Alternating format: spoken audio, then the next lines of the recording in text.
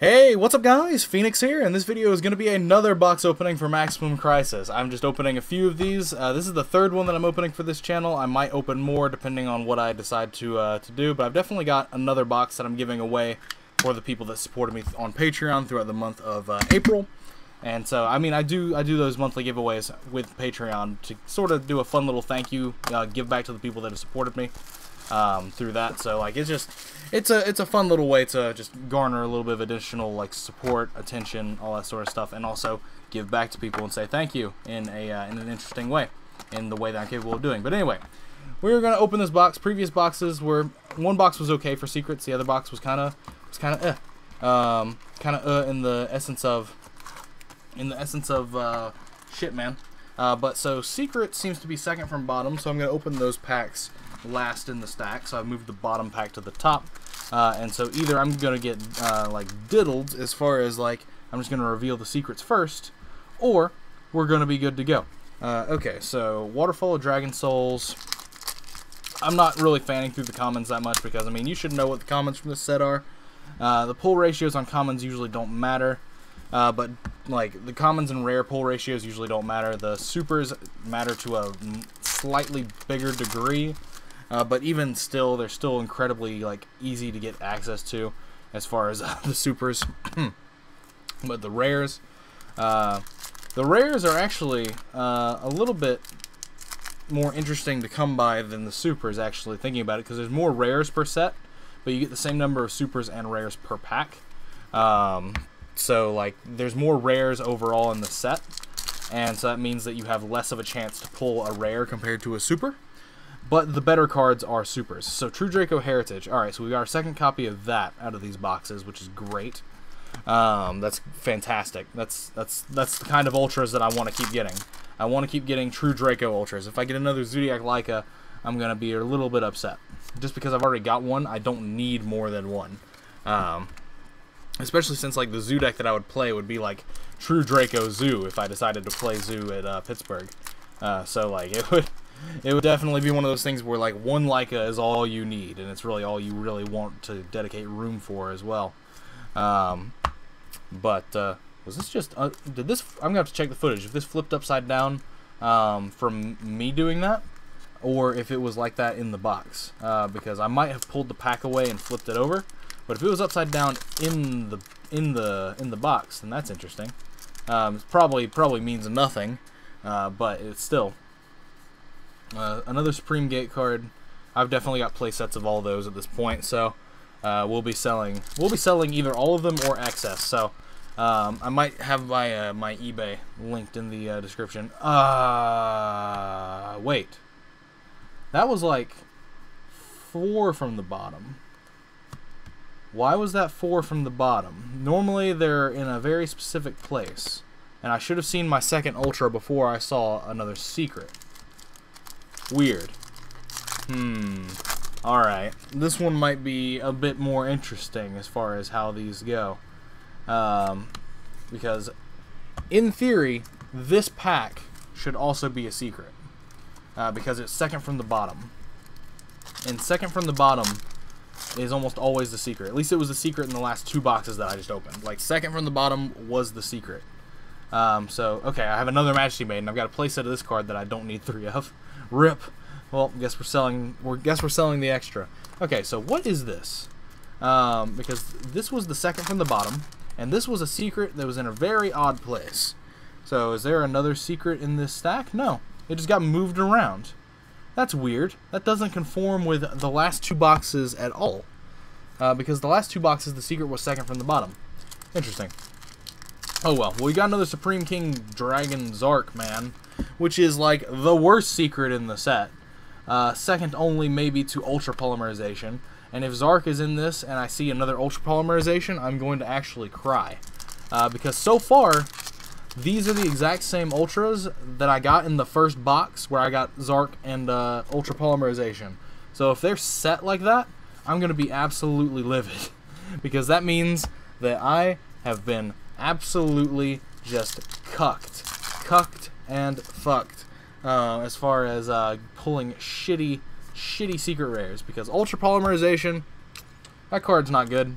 Uh, that card's like not decent considering the fact of like what the game's context has uh, currently. Okay, so this is a different ultra. Okay, so there's hope for these uh, for these being randomized. I was having some uh, I was having some some fears that the ultras and secrets are all set for certain for like certain boxes uh, to where like you'll always pull the same ultras, always pull the same secrets.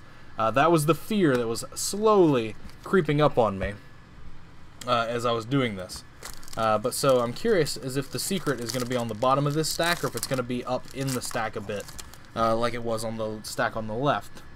Because, like I said, it doesn't that where this secret was was not in uh, was not in line with where it was in the previous two boxes, or with any box of product that I've opened since Konami has done this whole super in every pack thing.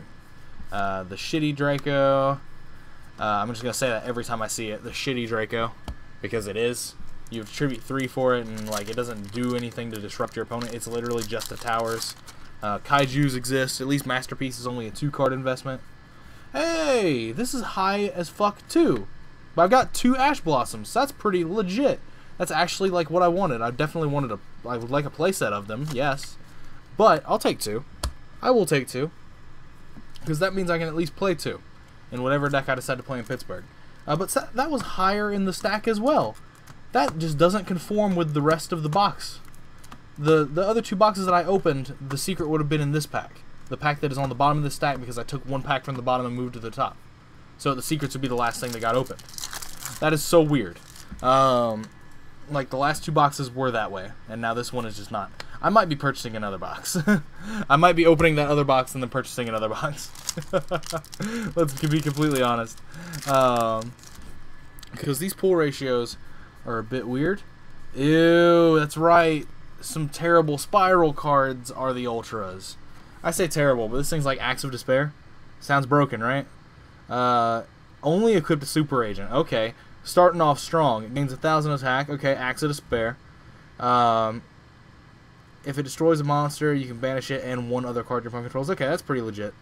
Um, and then when it dies, it can special summon Super Agent from grave. Okay, that's kind of fair. Still probably not ultra worthy. This would have made a really good common though. Um, I just think I think that these TCG exclusive archetypes, the Spyrals and the subterrors, man, Konami really dropped the ball on how those were made.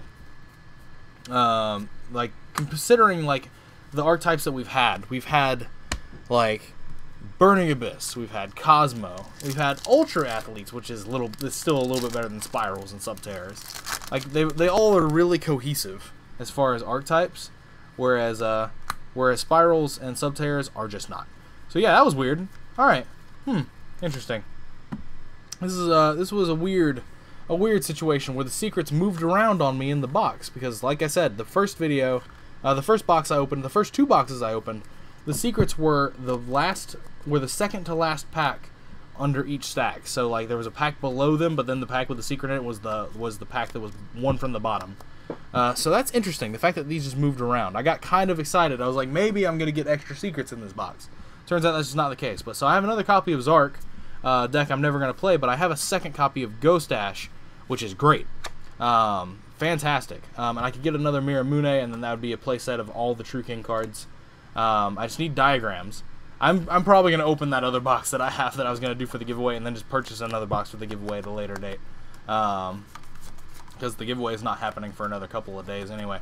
Uh, so that might be the thing that happens. So anyway, as always, guys, thanks for watching. Let me know what your thoughts are on these polls in the comments down below. What do you think of this box? All that sort of nonsense. What do you think about the things I've said? What do you think about these uh, these rarities and all that sort of nonsense. Curious as of your opinions, as always. But other than that, if you want to support me directly and you want to connect with me and chat with me, whatever, then definitely check out the links in the description to my Facebook and my Patreon page. If you want to support the channel directly, then Patreon is the best way to do so. It also gets you access to a monthly raffle giveaway at the end of this month uh, for a box of Maximum Crisis, I think is what I'm going to give away again. Uh, so if you support me during the month of May on Patreon, then you will be entered into a raffle giveaway for a potential box of Maximum Crisis next month. Either that or it'll just be a box's worth of uh, special editions, uh, depending on when those come out. I think those come out first. Uh, don't know, but it'll definitely be some significant amount of Maximum Crisis product uh, for you guys to uh, to oogle over and oddle over. But other than that, check out Second Chance Gaming's website. Which is also linked in the description if you want to buy or sell cards while indirectly supporting the channel. They are a direct sponsor of me and this channel. I'm a big fan of how they do business, what I've dealt with thus far. So definitely check out their site and let them know that Phoenix sent you. But other than that, again, let me know what your thoughts are in the comments down below. Uh, let me know if you like opening videos and all that sort of nonsense. I mean, it's definitely something I could probably do more of in the future, uh, just to be like filler content. But anyway, that's it for this video, as I've already said. Let me know what your thoughts are, all that sort of nonsense. And take care, guys. I will see you in the next video.